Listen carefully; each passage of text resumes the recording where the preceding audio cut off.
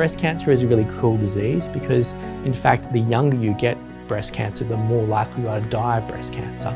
So, you know, we particularly targeted those women whose life expectancies are really being shortened by breast cancer, and that's been our focus.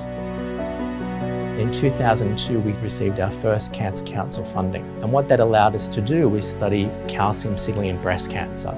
Those women that have poor survival, some of our targets are really at much higher levels.